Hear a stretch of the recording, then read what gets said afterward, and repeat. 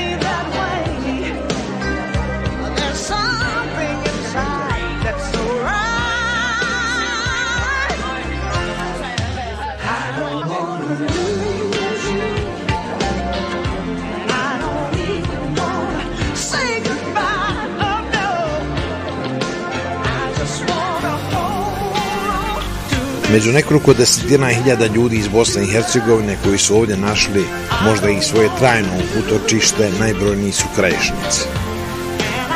Oni su u Sareninovom remek dijelu, dakle u luku prepoznali teljik. A teljik je onaj luk na jarmu koji se volovima stavlja ispod vrata. Čudna, mada ne i ne originalna asocijacija. Poslije toga uzbudljivog doživljaja i skupe vožnje Ibro Šidić i ja krećemo njegovim udobnim kamionom na daleki put. Gdje ćemo ovo pitam Ibro? I idemo mi za Pensilvaniju. Uh, imamo neki pet e, država da pređemo danas, što je 820 milja, što je neki 1150-1200 km za isporuku sutra ujutro. E, krećemo iz Mizurija, prolazimo državu Illinois, Indijanu, Ohio, West Virginiju i Pensilvaniju. Uh, Što vozimo? Uh, vozimo uh, papir, uh, kartonsku ambalažu, uh, koja je teška neki 30.000 pani, što bi moglo biti oko 14 tona uh, tereta na, na prikolci tamo. Krećemo. Prelazimo preko razlivenog Misisipija, a ljudi su se ovdje nastanjivali upravo zato što su mislili i vjerovali da ovo nije vodoplavno područje. Zato se broj stanovnika u St. Louisu i pri obalama Mississippi rapidno smanjuje. Relativno brzo smo napustili Missouri, pa Illinois i evo nas u Indijani.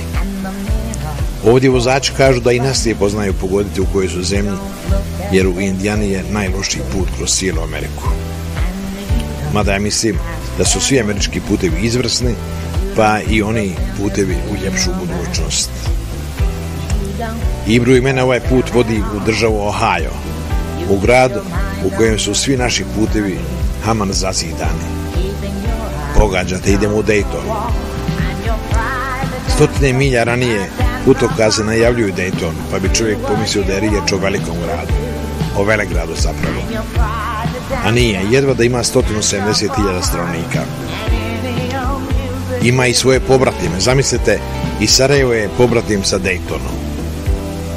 Nije Dayton kriv što smo mi dugoročno nadrljani. Ima simbolike i u tome kako je taj neveliki grad dobio ime. Dobio ga je po Jonatanu Daytonu, američkom kapetanu koji se istakao u američkom ratu za nezavisnost. Nisam bio mnogo nesretan što našim kamionom i prikolicom od 20 metara dužine nismo mogli nigdje svotati i ući u grad. U sve rizike stao sam uz Dejtonsku tablu na prilaznom autoputu, tek toliko da mogu reći da sam i u Daytonu bio, iako ni vama ni meni to ne znači mnogo.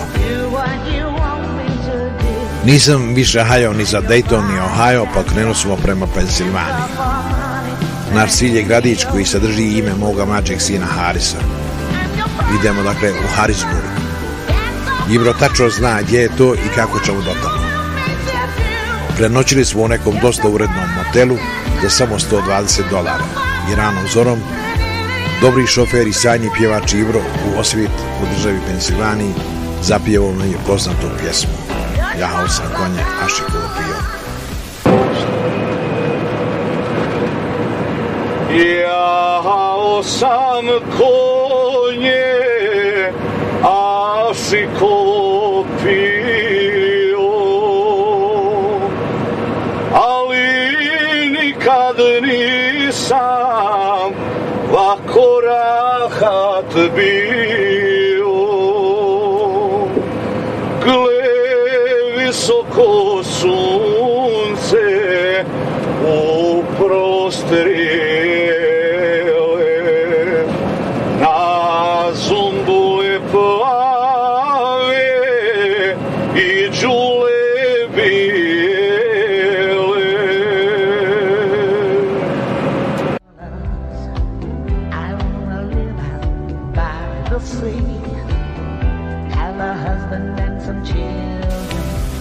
Stali smo, pitam Ibru, gdje smo mi ovo? Ovo je Harrisburg, Pensilvanija. Koliko smo kilometara, odnosno milja, kilometara? O, milja 820 km, 1300, otprilike. Milja gore dole. oko 1300 km. Kako se uspio ovako u, u, u parkirati? Ovoliko u Gradosiju. A, što ovi kažu, iskustvo se plaća, 14 godina iskustva, vrlo jednostavno. Sad ćemo istovarati ovo što smo dovoljno. Sad ćemo istovariti ovo što smo dovukli i onda ćemo gledati u kojem ćemo pravcu ukrenuti sljedeće. Koliko smo ovo možemo nakon 24 sata financijama ajrovali? A, to bi moramo malo sračunati, ali otprilike ostaje 1000 dolara čisti para posle rashoda. I onoga plaćenog hotela. Plaćenog. Spavali smo. Neću računati hotela, hotel zaboravim. Dobro. Je. To, to je fina zarada. Pa dobro, nije loše, može, može se živjeti, Može se živjeti. Barem preživjeti. Šta nas sad dalje očekuje? Prvo ćemo ići malo nešto pojesti, neku čorbicu. neku čorbicu pojesti, malo se relaksirati, pa ćemo vidjeti gdje ćemo dalje okrenuti. E, dobro. A milja neće faliti, ne boj se, bit će i danas dovoljno. Nekoliko stotina kamiona i kamionđija čekaju da im poslodavac javi neka idu tamo i tamo imaju lod za San Jose recimo. Mi se vraćamo u St. Louis. Ne pita mi Ibru jesmo li prazni ili puni. Prati nas kiša, a mi pratimo razliveni Mississippi.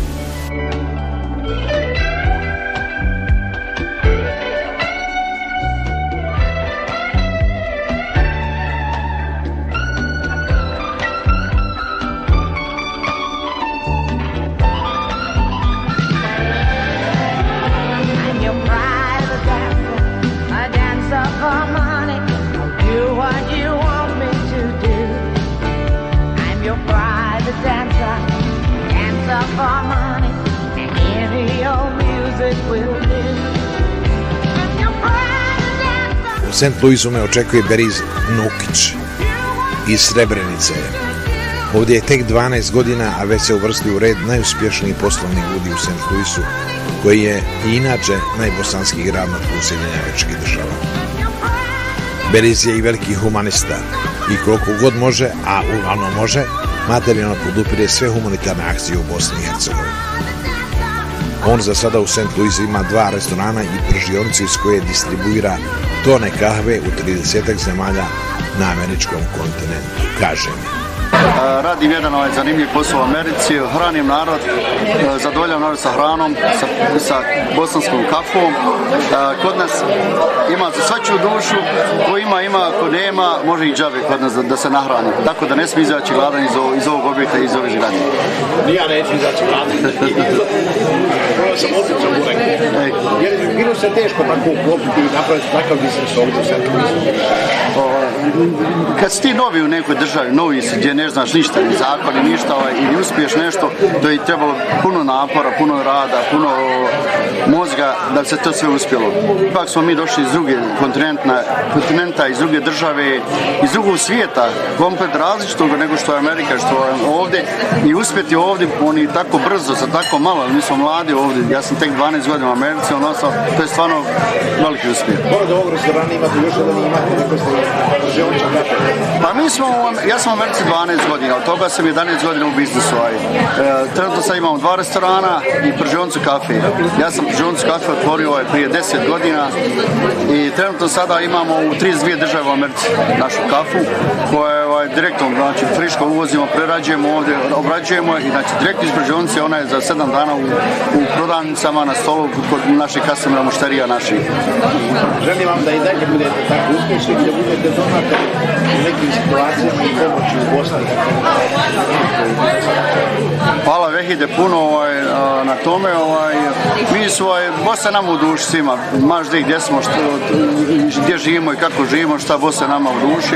Ovdje živimo, što smo došli, što moramo, što smo, ovaj, tako reći, ovaj, napustili smo od ničega, smo krenuli iz, iz Bosne, došli smo ovdje od ničega i borimo se da imamo. Što tiče ovaj, Bosne pomoć naše, ja sam ovaj, već dugo godina pomažem što tiče u Bosni ovaj, redovno, da ne nabrajam sada organizacije gdje sam se učestvovao, što sam učestvovao, a mnogi gledalci u Bosni znaju moj lik, vidjet će, prepoznat će meni, reće to je onaj što pomaže svako mjesta potrošačku korpu u Bosni, što pomaže tam studentima, što pomaže ovima i hvala Bogu, a i plan nam je i dalje da učestvujemo da pomažemo u bosanskoj zajednici, u narodu Bosne kome je potreban. Hvala Bogu kad sam može. Hvala Bogu kad se može pomoći. Navijam za vas, za vaše takve napore i za nogometnu reprezentaciju. Hvala vam lijepo. Hvala i vama Vehide puno što ste došli da nas vidite i što ćete pokazati bosanskom narodu da vidi da, nas, da ima nas bosanaca svugdje u svijetu i da smo uspješni, hvala Bogu, gdje god da smo.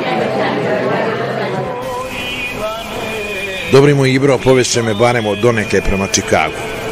Tamo me nestrpljivo očekuje Jaran Izet Izudi Izdarević, s kojim ću se opet, kao i prije dvije godine, ponovo upustiti u otkrivanje Amerike.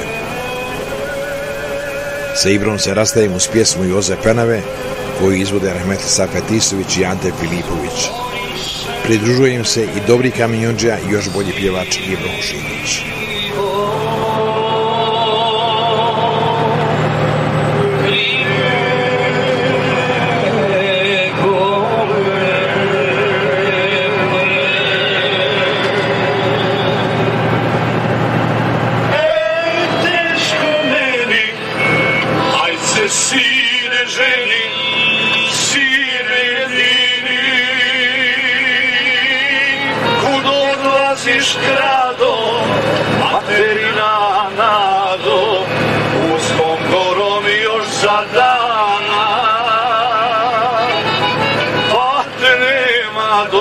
Dana Ej, teško meni, ajde sine ženi, sine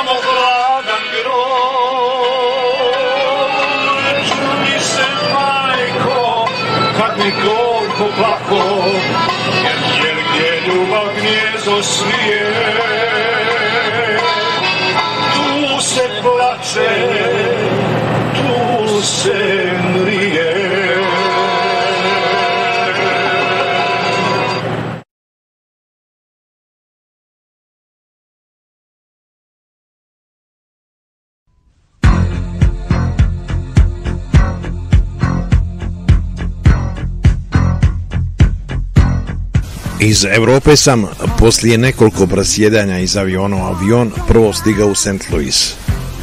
Tako je bilo najjeftinije, a ovdje su mi čekali dragi prijatelji Fadila i Ibro Hušidić. Već sam ranije nekoliko puta boravio u St. Louisu, ali nije zgorgi prisjetiti se i pokoje činjenice o ovome ne baš velikome, ali veoma lijepom gradu. Tu gdje se sada nalazi St. Louis utemeljen je najprije kao selo 1764. godine. Ova je lokacija odabrana radi blizine rijeke Mississippi i iz toga jer se vjerovalo da područje nije vodoplavno. A ja sam maja 2013. godine stigao u St. Louis kad se Mississippi razlio ko more i kad je valjao drvlje i kamenje. A pukla ravnica i pukla brana pa nema ošto da udari val. Naselje je dakle nastalo kao selo, ali je već na samom početku 20. stoljeća St. Louis u svakom pogledu postao značajan grad. Ovdje je 1904. godine održana svjetska izložba koju je tokom sedmomjesečnog trajanja posjetilo oko 20 miliona gledalaca. Ovdje su te 1904. godine održane olimpijske igre. Ovdje je otvorena prva američka benzinska pumpa. Ovdje je zabilježena prva saobraćena automobilska nesreća. Ovdje je neposredno poslije drugog svjetskog rata živjelo 856.000 stanovnika koji su se iz meni nejasnih razloga počeli raseljavati, pa je grad 1980. godine imao samo 450.000 stanovnika. Broj stanovnika se i dalje smanjuje. U St. Louisu danas živi između 35 i 40.000 naših ljudi. Ovo je najbosanskiji grad u Americi. St. Louis danas to je grad u znaku tri velika i moćna M. Money, medicina i muzika. Ovdje je rođena jedna od najvećih muzičkih zvijezda današnjice, Tina Turner. Najprepoznatljiviji simbol St. Louisa je ipak poznati luk, remek djelo svjetske arhitekture i lučkog neimarstva. Govorim luka zapravo se svugdje spominje kao moćna skulptura. Idem pod luk što podsjeća na dugu, zaštitni znak, možda reper St. Luisa, lijepog i atraktivnog grada koji bi trebao simbolizirati centar grada i kapiju zapada uz moćnu rijeku Mississippi. Govorim dakle o Luku, a projekt ovoga je slavni Ero Sarinin, rođen 1910. umro 1961. godine. Finac, skulptor i fotograf. A u arhitekturi sljedbenik pravca nazvanog funkcionalizam, kojem je pripadao i njegov otac također slavni arhitekta Emil Sarinen. Utemeljivač modernog stila u finskoj arhitekturi. Na državnom konkursu za idejno rješenje arhitektonskog simbola St. Louisa, Eros Areninan je dobio prvu nagradu, ali nije dočekao ni početak realizacije svoje ideje. Umro je 1961. godine u 51. godini života. Izgradnja je počela 1962. a završena je 28. oktobra 1965. godine. Luk je napravljen od čelika i visoke 192 metra i 24 cm. Dugo smo Ibrina Fadila i Ibro i ja kružili oko njega i ispod njega dok smo se napokon odlučili za vožnju. Ali evo najprije barem nekoliko činjenica o luku. Profil i unutrašnjost su trouglastog oblika, pri dnu širine 13,4 metra, a pri vrhu 5,1 metar. Do 91. metra visine luk je ispunjen betonom. Čelične šine korištene za izradnju luka pravljene su da traju hiljadu godina. Luk je napravljen da izdrži zemljotrise i velike vjetrove kao što je tornado koji je tipičan za ovaj kraj i dio Amerike u kojem se nalazi. Iz podzemljace do vrha luka možete dovesti malim vozom za 40 osoba. Možda se popeti i spustiti stepenicama. Ima ih samo 1076. Vozio sam se. U malu kabinu u kojoj moraš biti ponizno skvrčen staje pet putnika. Vozić drnda kroz nezanimljive prizore, a kad dođete do vrhunca, onda je to već nešto drugo i nešto posve treće. Sada ću da šutim, a vi uživajte u Stinu Turner i žamor sretnika s kojima sam dospio do ove visine.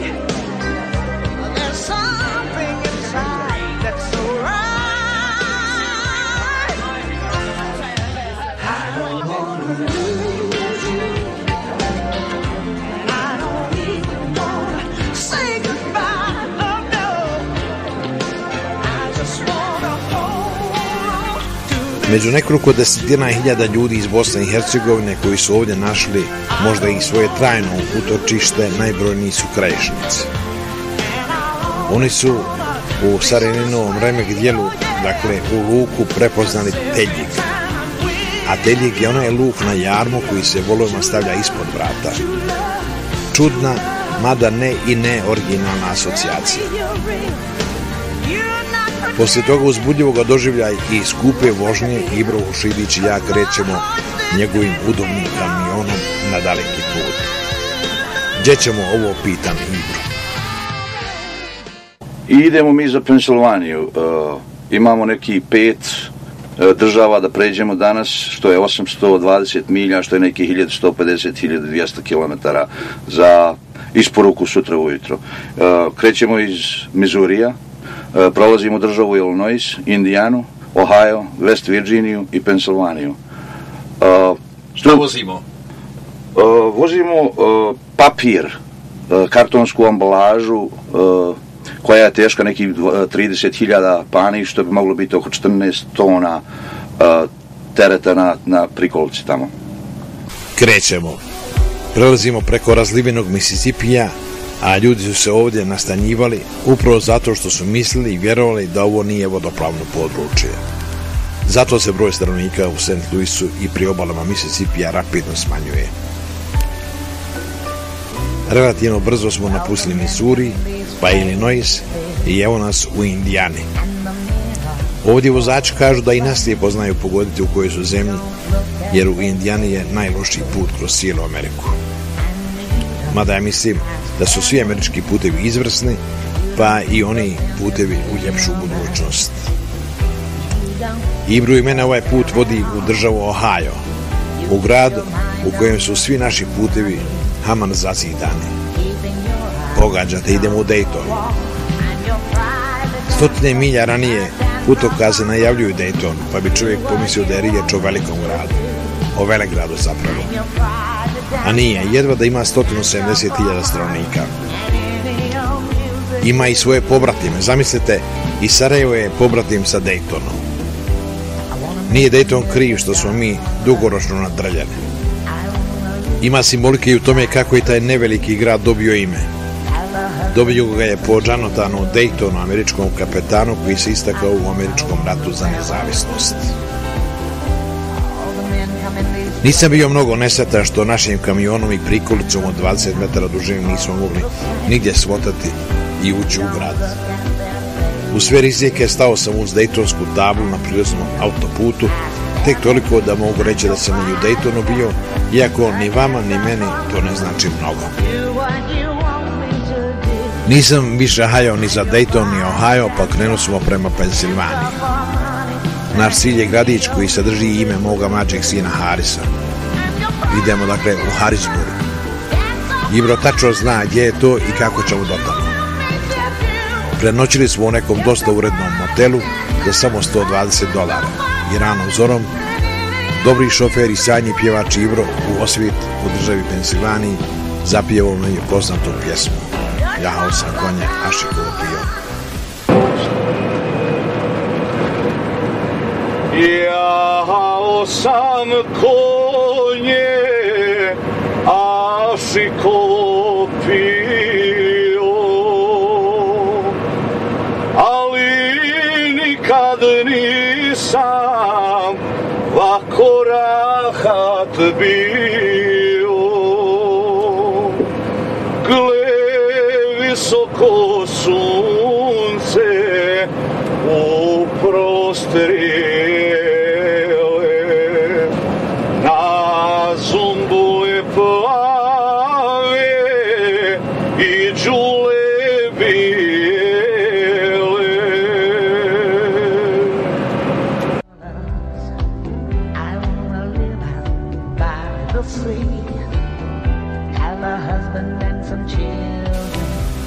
Stali smo, pitam Ibru, gdje smo mi ovo?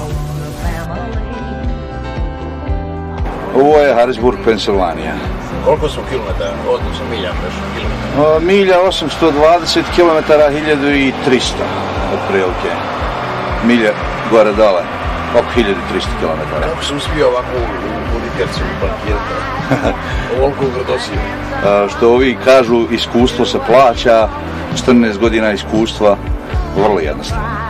Sad ćemo izdovarati ovo što smo dovoljno. Sad ćemo istovariti ovo što smo dovukli i onda ćemo gledati u kojem ćemo pravcu ukrenuti sljedeće. Koliko smo o- ovom vožnjom nakon 24 sata financijama aerovali? A, to bi morao malo sračunati, ali otprilike ostaje 1000 dolara čisti para posle rashoda. I onoga plaćenog hotela. Plaćenog. Spavali smo. Neću računati hotela, hotel zaboravim. Dobro. Je. To, to je fina zarada. Pa dobro, nije loše, može, ži, može se živjeti, Može se živjeti. Barem preživjeti. Šta nas sad dalje očekuje? Prvo ćemo ići malo nešto pojesti, neku čorbicu. neku čorbicu pojesti, malo se relaksirati, pa ćemo vidjeti gdje ćemo dalje okrenuti. E, dobro. A o, milja neće faliti, ne boj se, bit će i danas dovoljno. Nekoliko stotina kamiona i kamionđija čekaju da im poslodavac javi neka idu tamo i tamo imaju lod za San Jose recimo.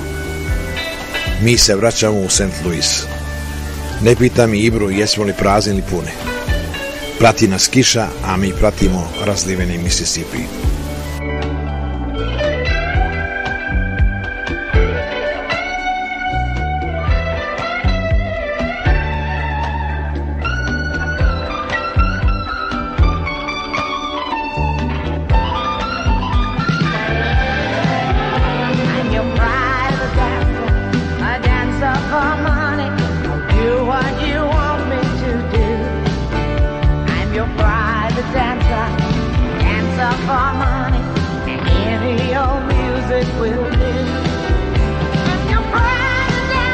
St. Louisu me očekuje Beriz Nukić iz Srebrenice. Ovdje je tek 12 godina, a već se uvrstio u red najuspješnijih poslovnih ljudi u St. Louisu, koji je i inače najbosanski grad na tlu Sjedinjavečkih država. Beriz je i veliki humanista i koliko god može, a uglavnom može, materijalno podupire sve humanitarne akcije u Bosni i Hercegovini. On za sada u St. Louis ima dva restorana i pržionicu iz koje distribuira tone kahve u 30 zemalja na američkom kontinentu, kaže mi. E, radim jedan ovaj zanimljiv posao u Americi, hranim narod, e, zadovoljam narod ovaj sa hranom, sa, sa bosanskom kafom. E, Kod nas ima za svaču dušu, ko ima, ima, ko nema, može i džabe kod nas da, da se nahrani. Tako da ne smije izaći gladan iz, ovog- iz ovog objekta, iz ove zgrade. Ni ja neću izaći vladan. Prvo sam otičao u neku. Ej, Jer bi bilo se teško tako uklopiti i napraviti takav biznis ovdje u o, Kad si ti novi u nekoj državi, novi si, gdje ne znaš ništa, ni zakon, ni ništa, ovaj, i uspiješ nešto, to je trebalo puno napora, puno rada, puno mozga da bi se to sve uspjelo. Ipak smo mi došli iz druge kontinenta, kontinenta iz druge države, iz drugog svijeta, komplet različitog nego što je Amerika, što je ovdje i uspjeti ovdje, oni tako brzo, sa tako malo, mi smo mladi ovdje, ja sam tek 12 godina u Americi, on ostao, to je stvarno veliki uspjeh. Pored ovog restorana imate još jedan imate neko kafe. Pa mi smo, ja sam u Americi 12 godina, od toga sam 11 godina u biznisu. Aj. E, trenutno sad imamo dva restorana i pržioncu kafe. Ja sam pržioncu kafe otvorio ovaj, prije 10 godina i trenutno sada imamo u 32 države u Americi našu kafu koja je ovaj, direktno, znači friško uvozimo, prerađujemo ovdje, obrađujemo i znači direktno iz pržionce ona je za 7 dana u, u prodavnicama na stolu kod naših kastomera mušterija naših. Želim vam da i dalje budete tako uspješni da budete donatori u nekim situacijama i pomoći u Bosni. Hvala Vehide puno ovaj, na tome. Ovaj, mi svoje, ovaj, Bosna nam u duši svima. Maš gdje gdje smo, što, gdje živimo i kako živimo, šta Bosna nama u duši. Ovdje živimo, što smo došli, što moramo, što smo, tako reći, ovaj, napustili smo od ničega, smo krenuli iz, iz Bosne, došli smo ovdje od ničega i borimo se da imamo. Što tiče ovaj, Bosne pomoć naše, ja sam ovaj, već dugo godina pomažem što tiče u Bosni ovaj, redovno, da ne nabrajam sada organizacije gdje sam se učestvovao, što sam učestvovao, a mnogi gledalci u Bosni znaju moj lik, vidjet će, prepoznat će meni, reće to je onaj što pomaže svako mjeseca prosvjećačku korpu u Bosni, što pomaže tam studentima, što pomaže ovima i hvala Bogu, a i plan nam je i dalje da učestvujemo, da pomažemo u bosanskoj zajednici, u narodu Bosne kome je potreban. Hvala Bogu kad se može, hvala Bogu kad se može pomoći. Navijam za vas, za vaše takve napore i za nogometnu reprezentaciju. Hvala vam lijepo. Hvala i vama Vehide puno što ste došli da nas vidite i što ćete pokazati bosanskom narodu da vidi da, na, da ima nas bosanaca svugdje u svijetu i da smo uspješni, hvala Bogu, gdje god da smo. Dobrimo Ibro povešće me barem od doneke prema Čikagu. Tamo me nestrpljivo očekuje Jaran Izet Izod s kojim ću se opet, kao i prije dvije godine, ponovo upustiti u otkrivanje Amerike. Sa Ibrom se rastavim uz pjesmu Joze Penave, koju izvode Rahmet Safet Isović i Ante Filipović. Pridružuje im se i dobri kamenjonđa i još bolji pjevač Ibro Hušinović.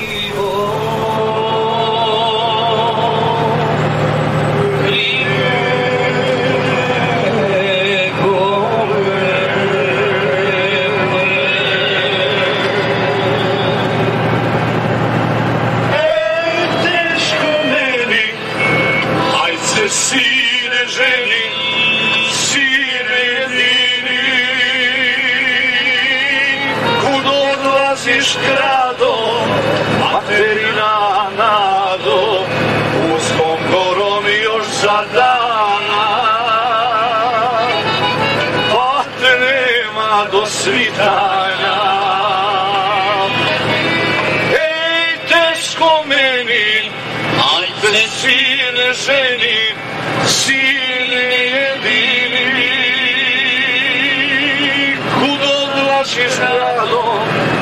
materina nado,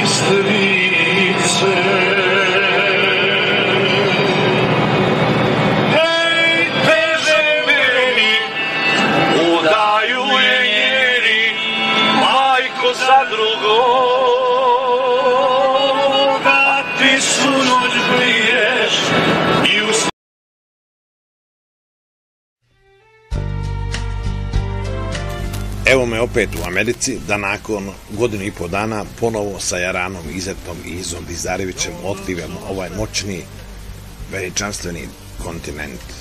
Ni dobronamjerni, ni zlonamjerni pojedinci i pojedinke u nedostatku bolje replike neće mi više za svaku dobru repliku dvočesto replicirati. E, jesi otkrio Ameriku. Bome jesam, iz njene same srčike, a sada Izo i ja idemo još duplje. Kao dobar profesionalac je nas čeka veoma, veoma dalek put i Izo ništa ne prepušta slučaju. Kočnice i volan moraju biti uvijek ispravni. Zato ovdašnji lokalni hođa Čaušević između dva namaza u efektnom džematu radi i kao mehaničar, ali i kao dobar vulkanizer. On zamjenjuje ogromne pakne na kočnicama naše prikolice. Pitam ga, je li sve u redu? Pa nisu bile skroz dotrajale, kočnice su, one imaju svoju mjeru. E, znači nisu došle do te granice gdje treba, ali s obzirom da je iza odgovoran vozač, on to na vrijeme sve kontroliše i mijenja da bi bio siguran na put koji ide. Kakve su gume? Gume su prilično dobre. Dakle, ja da, 2000? Pa, može, nema problema, može, nema problema. Otac i sin iz Meksika zamjenjuju šofer šajbu na našem kamionu da imam čist pogled kada budem snimao. Prošli put na šajbi su bile neke parnice što nam je prljalo kadrove. Sve je spremno. Naše veliko putovanje širokim prostranstvima Amerike pratit će Haja televizija za koju ću se povremeno javljati. A Izo i ja ćemo, kao i 2011. godine, realizirati za našu televiziju i seriju putopisnih emisija. To vidno naglašavamo i na našoj prikolici ispred koje na brzinu sam pokušao jer je padala kiša sročiti ovakvu najavu. Kolumbo je, Kolumbo je 1492. godine slučajno otkrio Ameriku. E, pjesnik, putopisac, novinar, moj kolega i sjajni kamionđa Izat Izod Izdarević i ja prije tačno godinu i po dana otkrivili smo zajedno Ameriku iz njegovog kamiona Volvo. E, proputovali smo dobar dio Amerike, a onda je, kad se trebalo desiti nastavak te serije, mene čepala bolest, proveo sam izvesno vrijeme u bolnici i tek sada, evo, u sumrak 9. maja, dakle na dan pobjede 2013. godine, Izet i ja krećemo ponovo u osvajanje Amerike.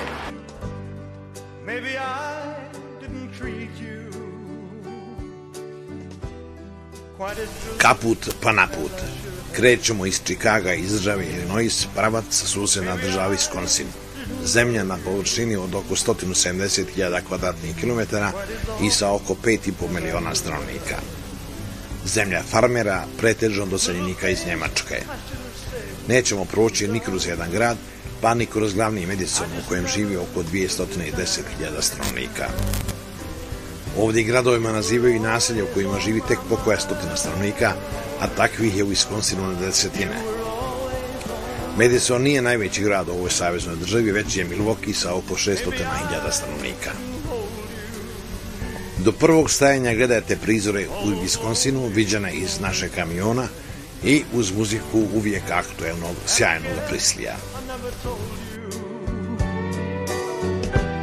I'm so happy that you're mine If I made you feel second best Girl, I'm so sorry I was blind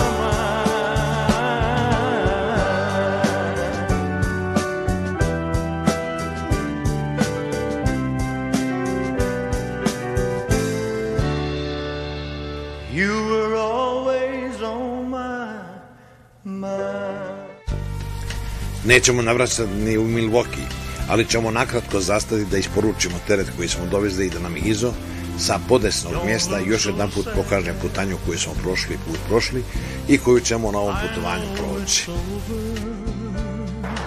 Petak, 10. maj 2013. nalazimo se u državi Viskanzi na kraju države još 20 milja imamo otprilike do Minnesota.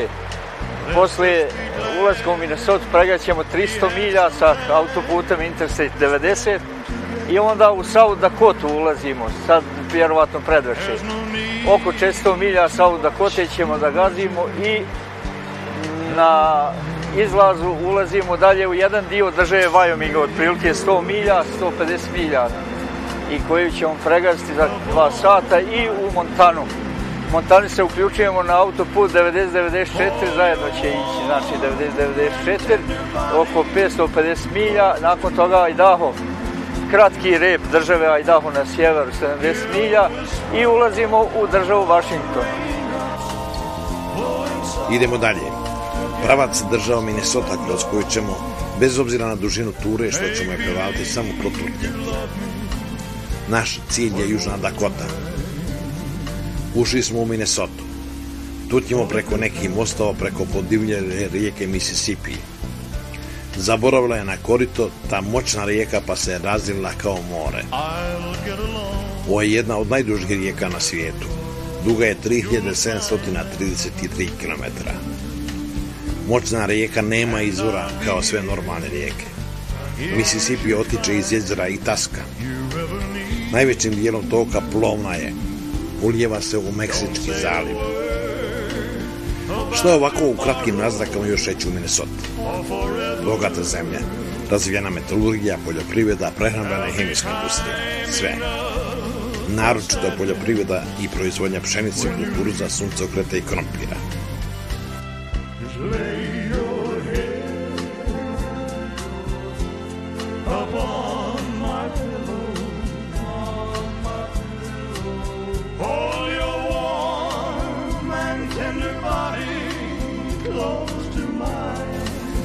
Pretutili smo preko razlivenog Mississippi-a i zorom ranom stigli u Južnu Dakotu. Rano je, pa su dobri američki drumovi pusti. I Južna Dakota u celini uzevši je prilično pusta i nenaseljena zemlja. Na površini od oko 200.000 kvadratnih kilometra živi tek nešto više od 800.000 stanovnika. Glavni grad je Pira, a Izo ja stižem u gradić Histon. Tu nas po ranijem dogovoru sačekuje jedini bosanac koji živi u ovoj zemlji. On je magistar Ermin Hušidić. Poslije srdačne dobrodošlice Erminovim automobilom zaputili smo se prema velikom svjetskom arhitektonskom i vajarskom remek dijelu, spomenicima američkim predsjednicima iskasanim u stijeni Mount Rushmora. Mladi magistar Ermin Hošidić na putu do toga svjetskog čuda u svome automobilu ovako nam se predstavio. Ja sam Ermin Hušidić, ja sam magistar, a radim kao financijski direktor u Custer State Parku. Evo sad smo u gradu Keystone, a, to je grad kod Mount Rushmora, napravljen je a, za turiste što dolaze, a, to je grad a, prije 100 godina napravljen za, za turiste što dolaze ovdje imaš a, da, da bi mogli gdje da, da za hotele i za restorane za a, kad dolaze u posjetu za Mount Rushmore. A šta im se ovdje nudi, šta imaju vidjeti atraktivno? A, ima, imaju jedna od najljepših planina u, u Americi i ima Mount Rushmore, to, to je stijena u kojoj su um, kipovi napravljeni od četiri a, predsjednika Amerike.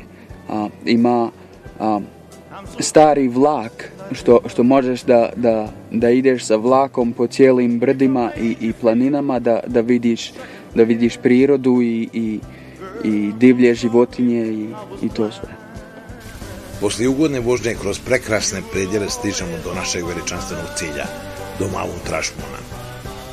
Da pojačamo vjerodostojnost, prvo iza mene snima u podnoću spomenika, a ja potom snima njega.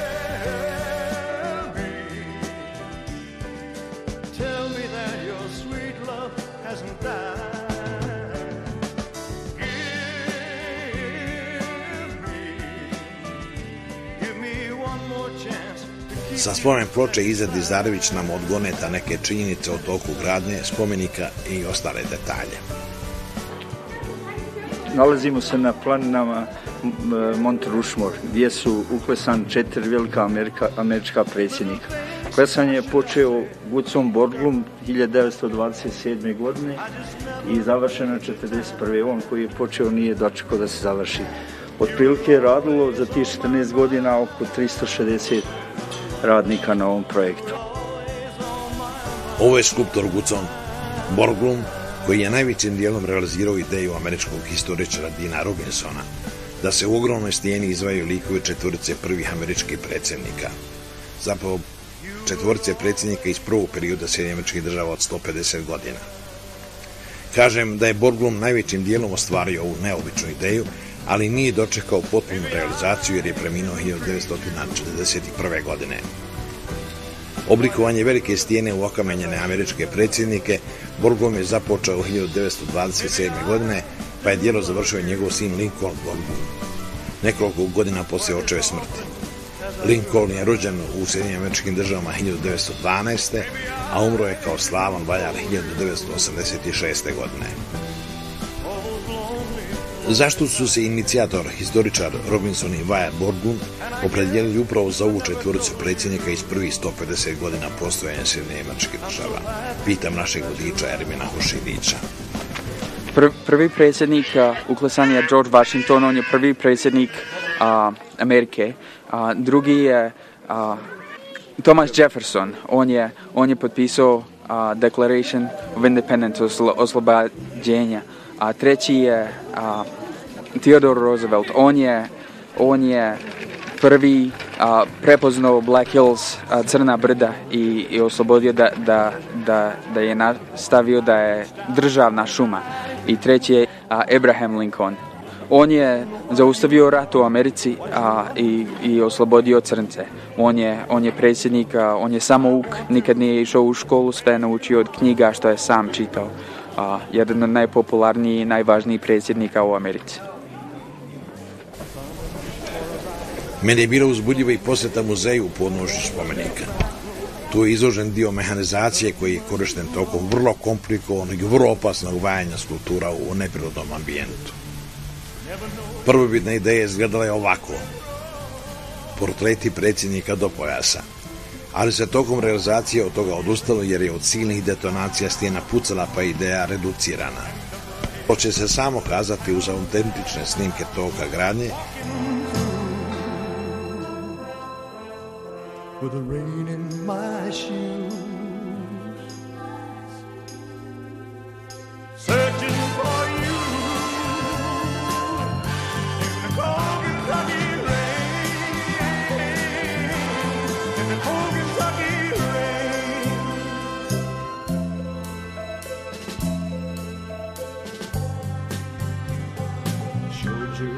ground to some old gray bearded men sitting on a bench outside a general store.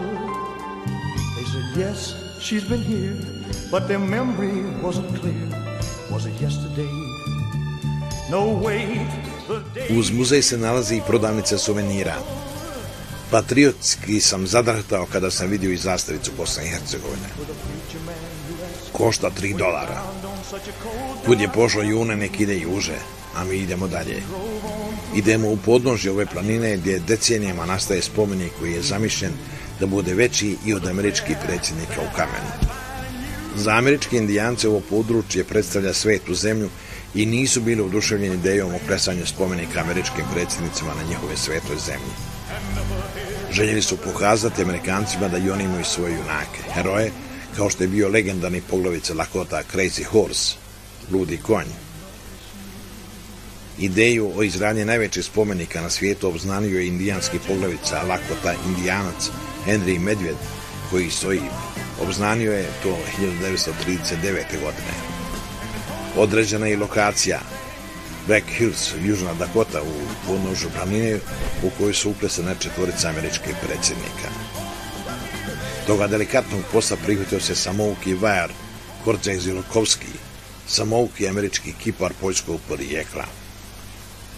U tu veliku svrlačku avanturu on se uputio 1948. godine. Kresao je puni 36 godina, sve do smrti. Njegova porodica nastavila je započete radove, ali su svi izgledi da spomenik nikada neće biti do kraja završen. Razlog je zato zna naš Ermin Hušidić. A, Crazy Horse je indijanac čovjek, ali su odustali od toga zbog, zbog stijene. Stijena nije dovoljno jaka da bi izdržala a, da se da, da ima Crazy Horse na njoj sa, na konju a, što ide. So, zato, zato što su odustali, ali još ima a, ima mjesto gdje možeš da odeš da vidiš njegovo lice. Nema ništa drugo nego samo lice jer, jer Stijana nije mogla da, od, da zadrži to. E, Kamera mi se nešto uzjugunila u podnožju spomenika Ludom konju, ali evo vam samo nekoliko naznaka o tome grandioznom dijelu. Spomenik je trebao biti dugačak oko 190 metara, a visina oko 170 metara. Glava poglavici Ludi i konj visoko je oko 27 metara, a glava njegovog konja trebalo bi biti visoka oko 65 metara.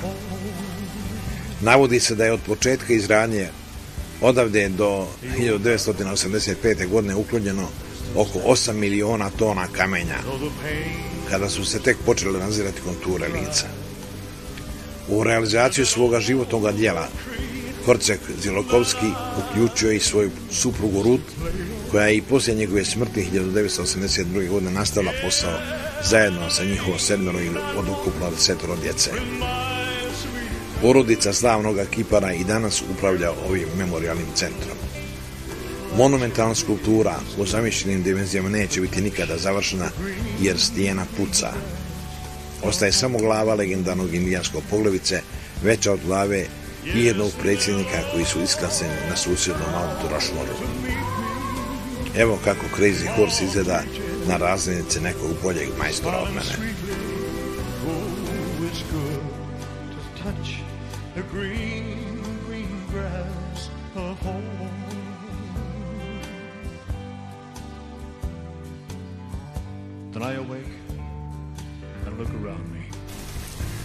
Idemo dalje do ofisa našeg domaćina Ervina Hošidića. Uspod ga molim da mi kaže isto ono što bi rekao i drugima neupućenim poput mene o državi Južna Dakota, u kojoj je on, na naš veliki ponos, tako uspješan. Ja bih im rekao da, da, da ovdje dođu da, da vide jedno od najljepših prirodnih mjesta u, u cijeloj Americi, a posebno Mount Rushmore da vide predsjednike, Crazy Horse što smo, što smo sad vidjeli, a parkove, a, mogu da dođu u lov, a, u ribolov, a, da vide prirodnu i, i divlje životinje što nisu u zoološkom vrtu, što idu gdje hoće, kad hoće i da, da, da vide to tako. Evo nas pred ofisom našeg Germina, finansijskog direktora drugog po veličini Američkog nacionalnog parka. Ispred ofisa pase bizon. Ne boji se nas. Ja imam respekt prema ovoj grdosiji. Ipak mu se primičem da ga izbliza snimim.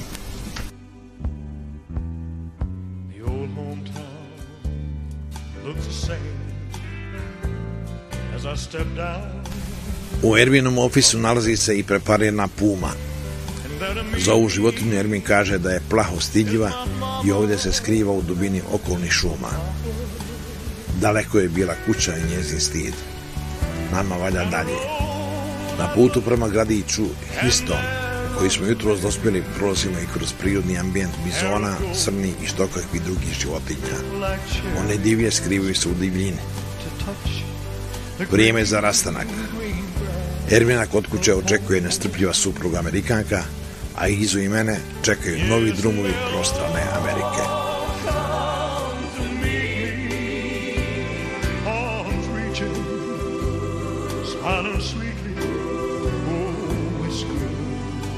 Touch the green, green grass of home.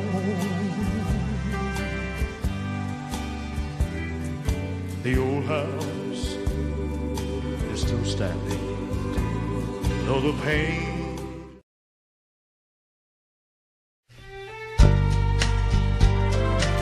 Evo me opet u Americi da nakon godinu i po dana ponovo sa Jaranom Izetom i Izom Dizarevićem otkrivamo ovaj moćni, veličanstveni kontinent.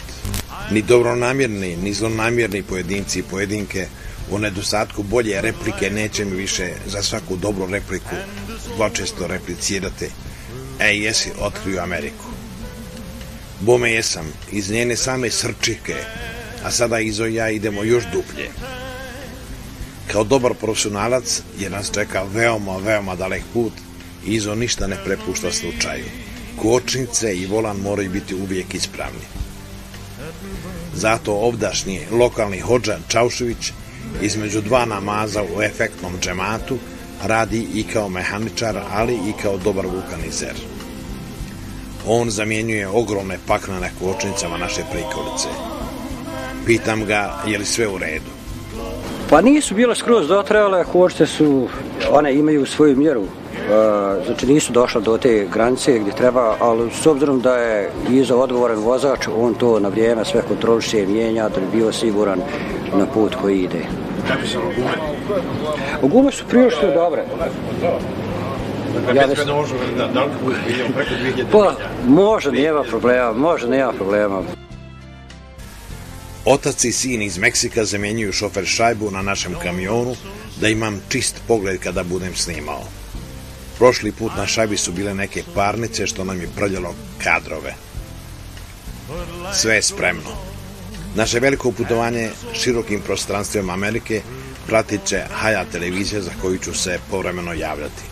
A Izo i ja ćemo, kao i 2011. godine, realizirati za našu televiziju i seriju putopisnih emisija. To vidno naglašavamo i na našoj prikolici ispred koje na brzinu sam pokušao jer je padala kiša sročiti ovakvu najavu. Kolumbo je, Kolumbo je 1492. godine slučajno otkrio Ameriku. E, pjesnik, putopisac, novinar, moj kolega i sjajni kamionđa Izad Izod Izdarević i ja prije tačno godinu i po dana otkrivili smo zajedno Ameriku iz njegovog kamiona Volvo. E, proputovali smo dobar dio Amerike, a onda je, kad se trebalo desiti nastavak te serije, mene ščepala bolest, proveo sam izvesno vrijeme u bolnici i tek sada, evo, u sumrak 9. maja, dakle na dan pobjede 2013. godine, Izet i ja krećemo ponovo u osvajanje Amerike. Maybe I didn't treat you quite as good Kaput pa naput. Krećemo iz Čikaga iz države Illinois, pravac susjedna država Wisconsin. Zemlja na površini od oko 170.000 kvadratnih kilometara i sa oko 5,5 miliona stanovnika. Zemlja farmera, pretežno doseljenika iz Njemačke. Nećemo proći ni kroz jedan grad, pa ni kroz glavni medicom u kojem živi oko 210.000 stanovnika. Ovdje gradovima nazivaju i naselje u kojima živi tek po koja stotina stanovnika, a takvih je u Wisconsinu na desetine. Madison nije najveći grad u ovoj saveznoj državi, već je Milwaukee sa oko 600.000 stanovnika. Do prvog stajanja gledajte prizore u Wisconsinu, viđene iz naše kamiona i uz muziku uvijek aktuelnog, sjajnog Prislija. I'm so happy that you're mine. If I made you feel second best, girl, I'm so sorry I was blind.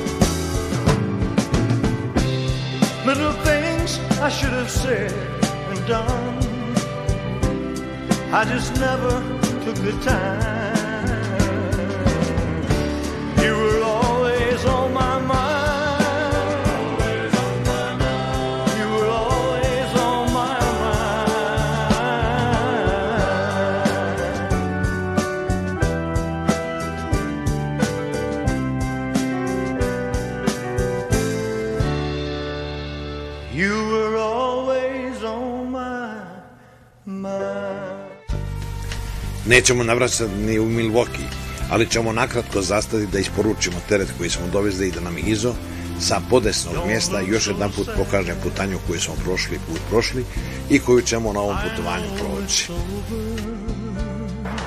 Petak, 10. maj 2013. Nalazimo se u državi Wisconsin na kraju države još 20 milja, imamo otprilike do Minnesota. Posle ulaska u Minnesota pregaćemo 300 milja sa autoputem Interstate 90 i onda u South Dakota ulazimo, sad vjerovatno predveše.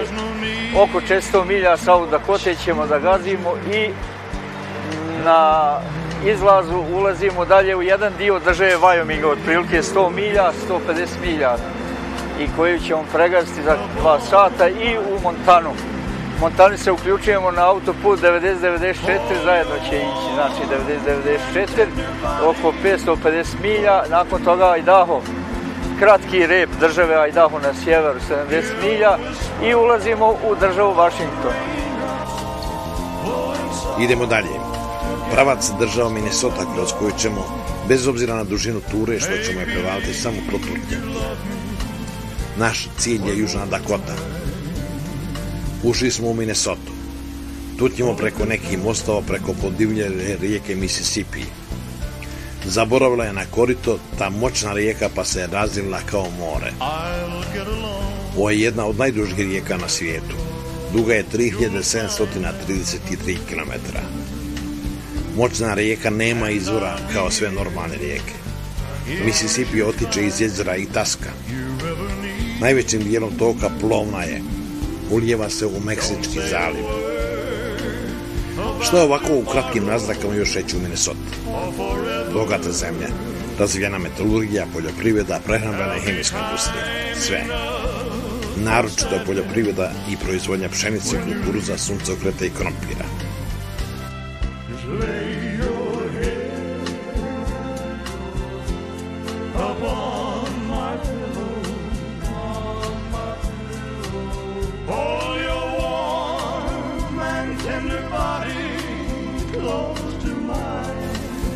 Pretutili smo preko razdivenog Misizipija i zorom ranom stigli u Južnu Dakotu.